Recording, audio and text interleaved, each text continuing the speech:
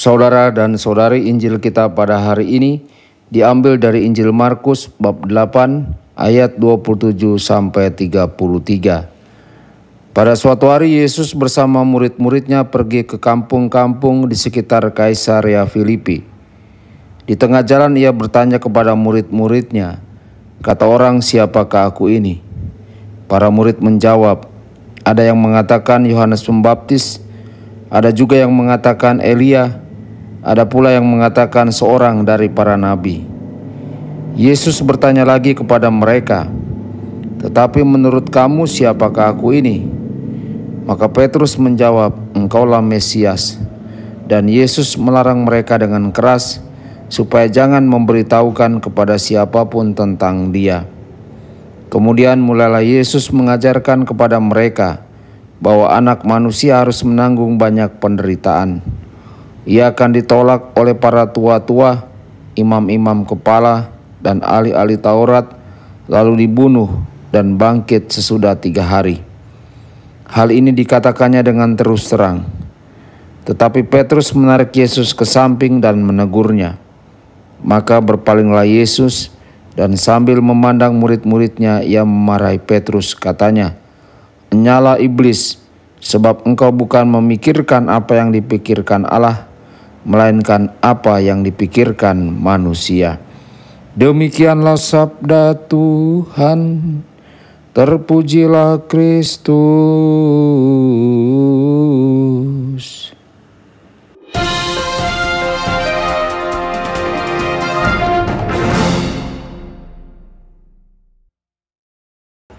Saudara dan saudari terkasih di mana pun Anda berada, jumpa lagi dengan saya Romo Tedens dalam saluran Warta Kabar Sukacita.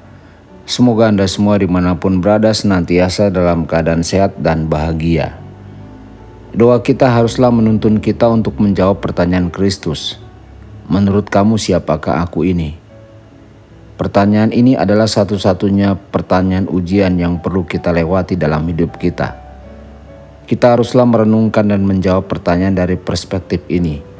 Siapakah Kristus bagimu? Pertanyaan ini tidak begitu banyak mendefinisikan tentang Kristus, tetapi pengalaman apa yang kita miliki tentang Kristus. Apa yang telah kita pelajari tentang Kristus secara pribadi, melalui pengalaman-pengalaman yang tidak dapat kita ketahui hanya melalui kesalahan lahiriah yang rutin, atau melalui apa yang orang lain katakan. Sejarah Kristus dan sejarah pribadi kita harus terjalin menjadi satu bab yang sama-sama kita bagi.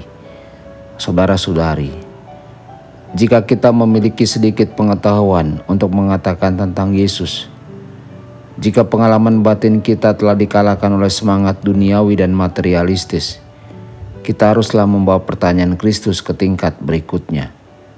Siapakah kita untuk Kristus? Siapakah kita untuk Kristus akan sangat ditentukan oleh siapakah kita untuk Dia dalam doa. Kristus batinia hanya diketahui oleh mereka yang diwahyukan. Hal itu tidak akan terjadi hanya dengan pendekatan daging dan darah atau hanya mengikuti arus peristiwa manusia. Kehidupan batin Petrus adalah lahan subur bagi Bapa. Kesaksiannya bukanlah keberuntungan, tetapi merupakan intervensi ilahi dalam jiwanya yang darinya imannya memperoleh kekuatannya. Karena daging dan darah tidak mengungkapkan ini kepadamu, tetapi Bapakku yang di surga. Saudara-saudari, Petrus adalah pribadi yang malang. Di satu saat dia mengungkapkan pikiran Bapa, di saat berikutnya pemikiran setan. Pengalaman hidup Petrus akan Kristus adalah target dari upaya setan untuk menghancurkan imannya. Penderitaan Kristus akan menjadi jaminan bahwa iman Rasul tidak akan gugur. Aku telah berdoa untuk kamu. Pada akhirnya doa Kristus akan menang. Petrus dilahirkan kembali pada hari Pentakosta tanpa rasa takut menerima dan meluncurkan misi gereja. Fondasi batin yang kuat di dalam Kristus pada akhirnya mengarah pada pemeriksaan realitas terakhir dari kehidupan rohani Dapatkah Kristus membangun di atas kita karena kita dibangun di atas Kristus? Kesetiaan Kristus akan menopang kita jika kita tetap bertahan dalam pertempuran, jika kita berpegang teguh dan tidak membiarkan kenyataan kejatuhan kita menghalangi kita untuk maju. Setan tidak dapat mematahkan iman kita jika kita terus berjuang, dan untuk itu kita harus selalu memiliki tujuan baru untuk memulai dengan lebih segar. Tuhan Yesus memberkati dan menyertai Anda semua. Sabda Allah adalah kebenaran Sabda Allah adalah kehidupan Mari kita mencintainya. Mari kita menghayatinya. Ya Tuhan yang ku muliakan. Sabdamu angkat resahku